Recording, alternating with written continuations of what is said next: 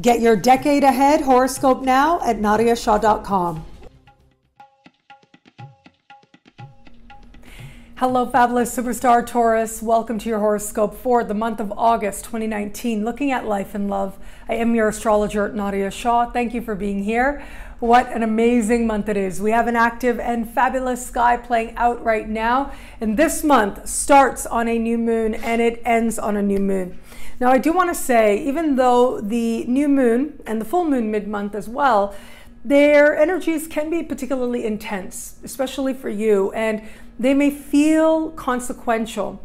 But the energy changes so much as we move later into the month. And for you, you will be ending this month on a high note, feeling very fulfilled on a level of heart and for some, it might even feel like, in one way or another, metaphorically at least, perhaps literally, for a small percentage out there, it may feel as if you have won the lottery. And I don't say that lightly. So let's take it one at a time. As we start this month, right out of the gate, the 1st of August is when we have this month's new moon. Some of the more notable characteristics of this new moon is that it will happen close in the sky with Venus and also be speaking in a conversation of tension with Uranus. Now, it is that connection with Uranus that brings in a surprise factor that can have motivation to it, but also some very strong mixed feelings. And so it can feel like things are changing in some cases very quickly, and you may not be sure how you feel about it.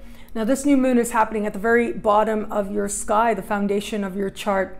And in some way, it's going to feel as if your foundations are changing.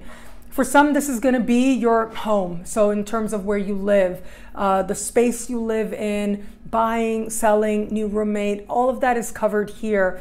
And so, again, it is a new moon, which does bring with it new opportunities, but also a new need to make a change. And for some, that change needs to happen very quickly.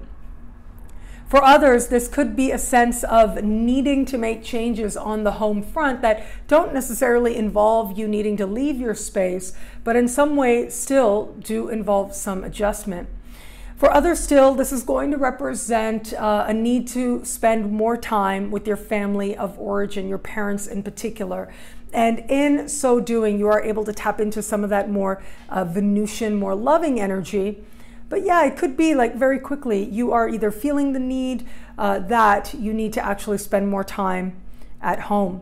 Regardless of what may feel as if it needs to be addressed rather quickly, at the same time, though, once we move past that new moon, like literally days past that new moon, the energy starts to get very hopeful. And exactly what felt uh, so uncertain as you start the month very quickly gives way to inspiration and greater possibility. As we move to the middle of the month, we are going to have this month's full moon. Now, the full moon is going to be taking place at the very top of your sky. This is a part of the sky that has to do with career, social standing, life purpose. And when it's a full moon, it tends to bring with it some sense of fulfillment, perhaps the fulfillment of an important project or a goal. It can also bring with it uh, recognition of some kind as well. Now, here's the thing this full moon is standing across the sky from Venus and from Mars. Now, both of these planets are uh, moving into the later degrees of the sign that they are in. And that suggests that these planets are that much stronger as they are speaking with this full moon. Now, what this does say, when we have planets opposite each other, is compromise. There is a need to consider another perspective. Sometimes this energy can play out in terms of what is happening with another person, a business partnership, a professional alliance. Uh, there can be, with this energy, a feeling like something needs to be addressed rather quickly. And the reason I say that is not only because of the nature of this particular full moon and the sign that it's in, but the fact that the days leading up to the full moon, we have two planets changing directions. Uh, we are going to have Jupiter going forward, which is exciting, but the same day we are going to have Uranus going retrograde, and Uranus is the ruling planet of this full moon. And so, what that says is even though Uranus isn't directly speaking with this full moon, that Uranian energy is high at this time. And Uranus, of course, is in your sign. And so, what is happening right about now is that much more important to you. It's like you're taking personally what is transpiring on a level of these areas that I spoke about career and life purpose. And as it is that what is developing is speaking to you, it is also redefining you in some way. It is encouraging you to look within and to understand where it is that you're ready for some even deeper changes to take place. Where it is you're ready to do some inner work so that you can actually live the authentic life that you desire. And in this case, not only to live it for you, but to have it show up in terms of your career path, in terms of your life purpose journey. So while this energy can bring clarity, it can also bring with it a sense of realization that there are other things that need to be taken into consideration, or other people, or other people's feelings. Now, for some, I do think that this is going to be a real breakthrough moment where you get honest with yourself about what isn't working and where it is that perhaps you want to let a certain chapter come to a close where it comes to your career path. That can actually end up being quite empowering. Whatever it is that does happen for you, understand that it is you within who has your most powerful answers. With Uranus in your sign, you understand what is true for you, what is right for you. And it's almost uh, instinctual. It isn't always something necessarily that you can understand completely rationally, but when it is that you know it, you have to trust it. And it can feel, again, like things are changing fast in the middle of the month, but they are ultimately changing in a way that brings you peace. That is what you want to watch. If it is that you feel yourself moving towards an inner sense of greater peace, then you know you are on the right track. Now, it is late in the month that the energy gets really, really nice. I mean, you start feeling this three weeks in when both Mars and Venus, one by one, move into fellow Earth sign Virgo. By the end of the month, at the very end of the month, we are going to have a new moon in this part of the sky, speaking in supreme harmony with Uranus. So, where's the energy in the earlier parts of the month? That Uranian energy, not easy, right? That Uranian energy felt as if there were changes happening and you didn't quite know what to do with it or where to go with it. By the time we get to the end of the month, things are changing. They're changing quickly, but you feel excited about it. It feels like one lucky break after the other. Now, wherever it is that you need to take a chance or take a risk or even just buy a lottery ticket, uh, in some way you want to do something fun, maybe by the time we get to the end of the month, a spontaneous uh, opportunity to have fun could come up for you.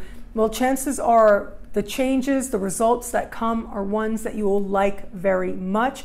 This is really you having a sense of connection to your own instincts and what it is that you really want to do and what it is ultimately that's going to bring you reward. Now, that reward can be a very personal thing, but it can be a practical thing as well. But it is at the end of the month that the universe has your back to take a chance, to take a risk, and have it go your way. This new moon is also really good for love. So, where it comes to matters of love, this new moon speaks to flirtation and romance and what the heart truly desires. Of course, you can desire things in every area of your life. You can be passionate about so many different areas of life. And all of that is covered here. But for many of us, a lot of the ways in which we get in touch with our heart and our passion is through romance, uh, is through love. If you are open to meeting someone new, this is one of the high points this year to feel as if you've connected with someone in a meaningful way. Again, very likely it's going to take you by surprise, take you by delight, but there's so much romantic energy here for you as you finish the month that it could be that love could surprise you. For those of you who are just getting to know someone, this is a beautiful new moon for dating, and it can feel as if your connection with this person takes a leap forward very quickly. Now, that's going to be the case for most of you. There's a small percentage of you out there that may feel as if this particular energy breaks you free from someone who may not be the right person for you. But if that's the case, if this new moon says anything, it says options. There are options available to you where it comes to love. And for those of you who are in an established bond, this can be a lovely time. This is where you want to have romantic surprises. This is where, wherever it is that you're hoping to cultivate the relationship more, or just plan to do something meaningful and fun together, or even just not meaningful, just something that the two of you enjoy, chances are it'll bring with it delight, but it'll also bond the two of you together. What I love about this month for you, well, it has to be that new moon, right? That new moon at the end of the month that is the high point. Whereas the earlier parts of the month, it's a lot more practical and it's a lot more personal. It's about you looking at where you've been, or in some cases, understanding the past differently, which is part of that new moon as you start the month. And in the middle of the month, of course, that full moon has you very focused on achievement and accomplishment. But it is that new moon at the end of the month that restores perspective, that reminds you that life, and for you and now, is meant to be a joy. Well, thank you so much for watching. You can get a video like this every week by logging on to nadiyashah.com.